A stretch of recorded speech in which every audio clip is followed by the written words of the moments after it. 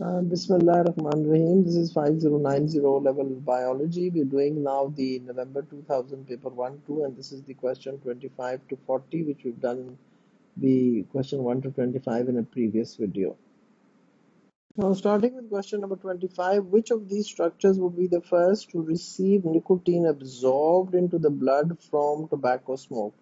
Well, you know, people who smoke tobacco, I mean, they inhale it, it doesn't go into your stomach so it would enter, first of all, the lungs, and in the lungs it would enter the blood. And you know, the vessel which comes out is the pulmonary vein, and this pulmonary vein goes to the left atrium.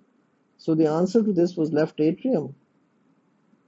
So if you did not know the circulatory system, this was a difficult question. I could change this MCQ and I could make you an MCQ in which I could say uh, which of this blood vessel would receive nicotine absorbed into the blood from tobacco smoke. I would just change it a little bit and the answer to that will be pulmonary vein.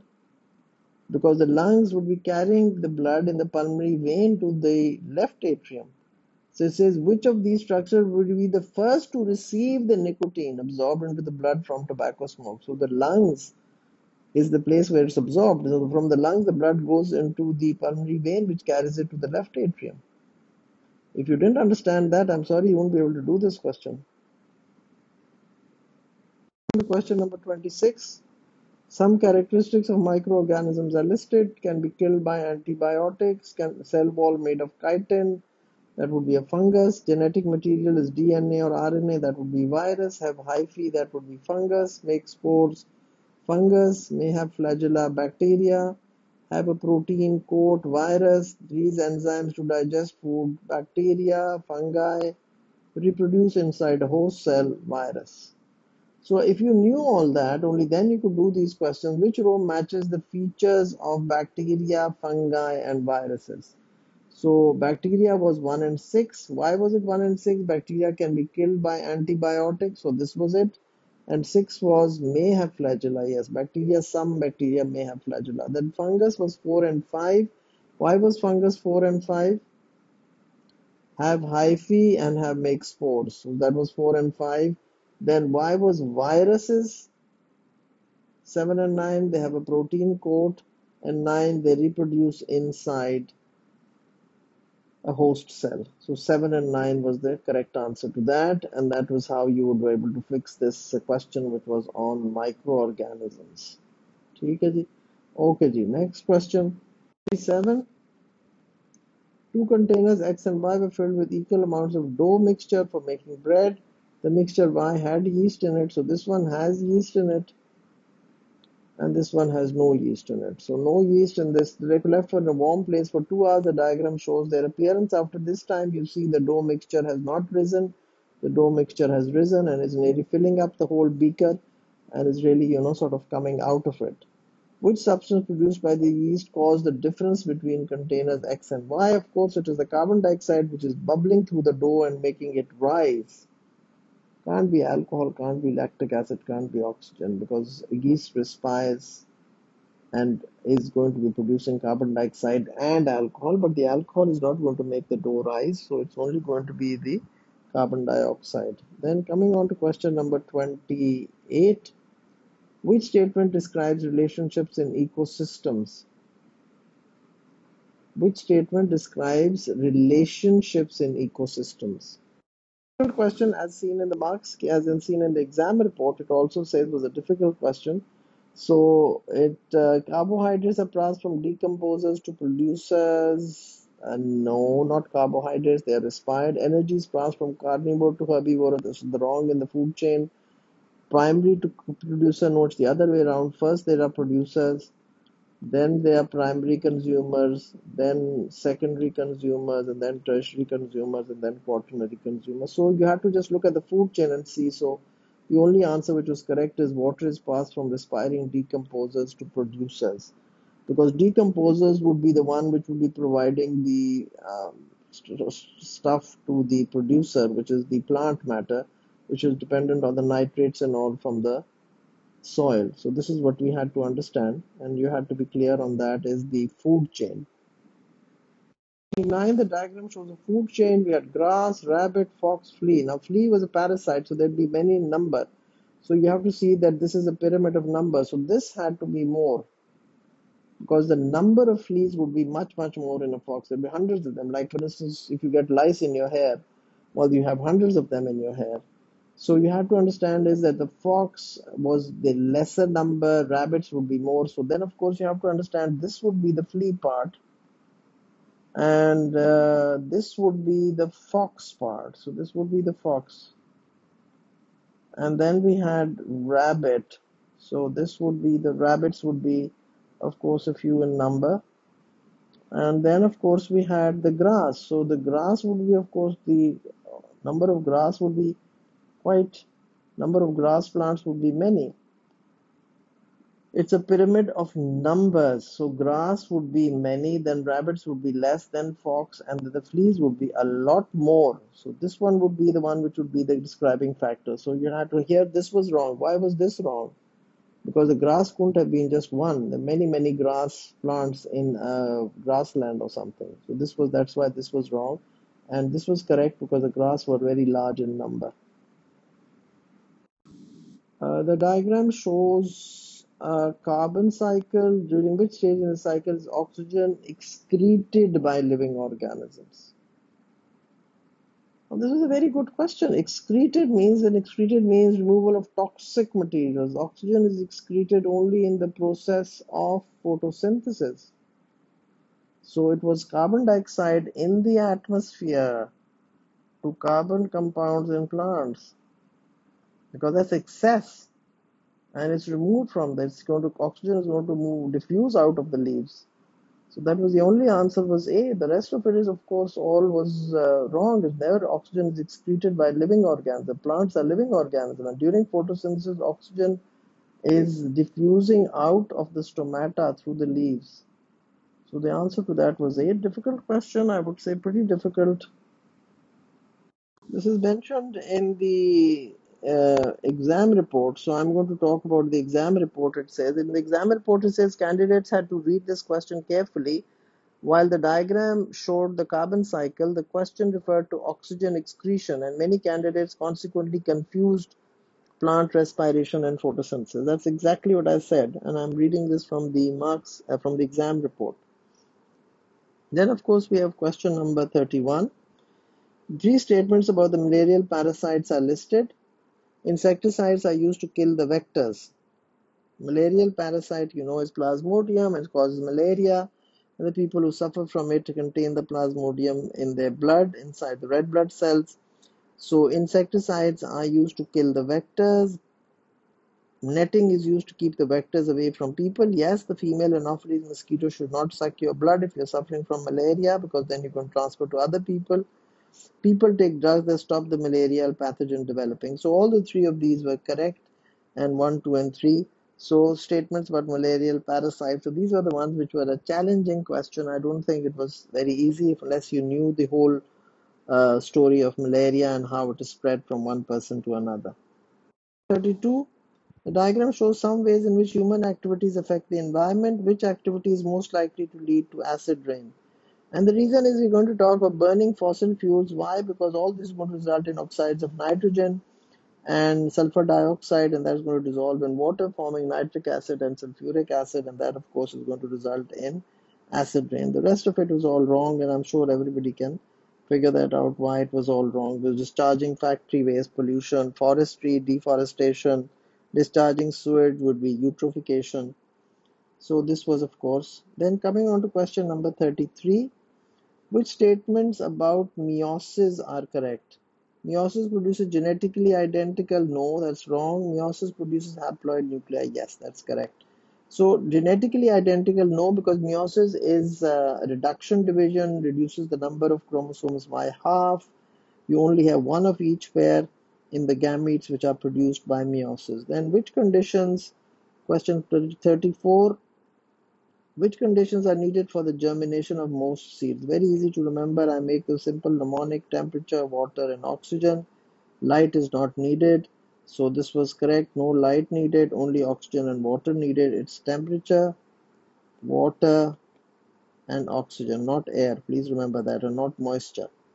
And an adequate temperature, enough water, and oxygen. Question 35, the diagram shows a fetus in the uterus.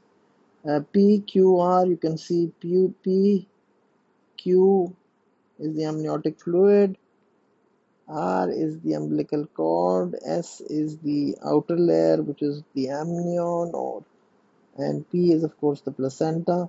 Which of the labeled structures are essential for feeding the fetus and which for supporting it and protecting it from mechanical shocks? So protecting it and mechanical shocks would be Q and S, supporting and protecting, and feeding would be P and R because yes, uh, feeding would be P and R because R is the umbilical cord, and the umbilical cord contains an artery and a vein which is going to bring the, of course, it's the fetal blood, but it's going to bring the oxygen and the glucose. And the umbilical cord contains both the umbilical artery and the umbilical vein. So feeding would be P and R, and the Q and S would be supporting and protection. So this is something you need to revise the chapter on reproduction. And coming on to question number 16, 36. The diagram shows the changes in thickness of the uterus lining during one menstrual cycle and what would be the levels of progesterone. This is just showing you the thickness of the lining. So the lining is thick, then it is shed, and then of course it starts to repair, and then it remains thick. So this is the thickness of the uterus lining. Please read this very carefully. And so when would the levels of progesterone and LH be the highest? Now the LH has the highest on day 14. You know, LH is sort of here, then peaks, and then it goes down again. That's very typical of LH. So on day 14, and that was very easy to figure out because day 14 is only in one of the answers. So day 14, this was the clue which would have made you decide the answer to this question. Question 37. A gene is a unit of inheritance that controls the production of a protein. Yes, that's what is in the syllabus also. Unit of inheritance which controls the production of a protein. It can't be allele gene, there are different alleles of a gene, and a chromosome is made up of DNA, and a section of the chromosome is called a gene. So we have to be very clear on all these chromosome, gene, allele.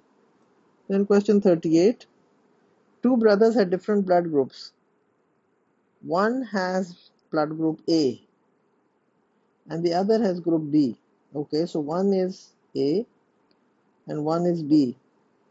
Now, what can be concluded about their parents' blood group genotype? So, you've got to understand if the child is A, he could be IAIA or he could be IAIO. Similarly, the child who is B has to be IBIB or has to be IBIO. They can't be anything else. So two brothers are different. So one is group A and one is so this one of the child is this and one of the child is this. Now, one parent must be heterozygous. Why is that? Because one parent has to be, one has to have A and one has to have B. Because one child is A and one has to be, so it could be if this child, this parent is AA and this parent is BB, then all the children would be AB. But then, of course, if this is BO, so you have to understand is what they're asking you. So one parent at least must be heterozygous. Both can be heterozygous. Because you see A has come from one parent and B has come from another parent. So if both were AB, then of course it was possible. Both were AB, then it was possible. Both were, at least must be heterozygous. So this is what we had to understand is and I will explain this question again at the end of uh, uh the, at the end of the paper. Let me just finish this paper. I'll go to this blood group again. Then coming to question number 39, what is a potential danger of growing genetically engineered crops? What is a potential danger of growing genetically engineered crops? danger. This would be of course this is this is going to be a good thing. Greater yields good thing. Reducing the amount of pest this good thing. These are all good things. And what would danger would be something bad. So changing the genotype of plants in nearby ecosystems because if the pollen is transferred that could really be disastrous. So that would be one of the dangers of genetic engineering. That's a difficult question as well. And that was not very easy. And I think that would be a challenging question for many students. Okay. Last question, question 40. The table shows the genotypes and phenotypes for hair color for the members of a family, but one phenotype is shown incorrectly. Now, we have to understand this is that if brown people had to have big A, big A, or big A, small a, because it says this was the answer to that, right? And look at the blondes. The blondes had to be small a, small a. So blonde was the recessive characteristic, right? So you just had to check which one was wrong. Now you have to understand was son A was because this is this is you see this they, we had only one blonde, but all the browns were either this or this. So browns were all correct. Big A, small a, then this was big A, big A, then this was big A, big A, then this was big A, small a. But the blonde, this one was now incorrect because the blondes we said were the recessive. So son one was the one which was wrong. So that is why which one has an incorrect phenotype. So this was easy to do. I don't think this was a very difficult question. Now we will go back to question number 38. We're looking at question 38 once again. And I'm discussing this again for a reason that you choose a difficult question, says in the exam report as well. One, two brothers are different. One was blood group A and one was blood group B. So if one child is one group A and one is B, so you've got to understand what are the three possibilities. I've just given that to you. If you have if the parents are A, B, and OO, even then they can have an A and a B kid. If the parents are AO and BO, even then they can have. If the parents are AB and AB, then only they, they can also then have a, a child A and a child B. Now in this, now look at all these. This is homozygous. This is hetero. This is heterozygous, heterozygous, heterozygous, heterozygous. So one parent at least must be heterozygous. You have to understand this. This is only possible if the parents, one child is A and one is B. How is it possible? You can see these different combinations that I've just given you at the top, in which you have to figure out it. How could a child be? How could a parent, a couple, have a child group A and a child group B? Please do look at the exam reports. Please do have uh, look at questions which you are not clear about and try to understand them and uh, i'm sure you all have my whatsapp number and please do contact me on my number or write on my comments in the youtube channel and then of course i can get back to you. And uh, i hope uh, i wish you all the best. And uh, exams are coming near 26th of july. We have the exam starting. So all the very best. And thank you once again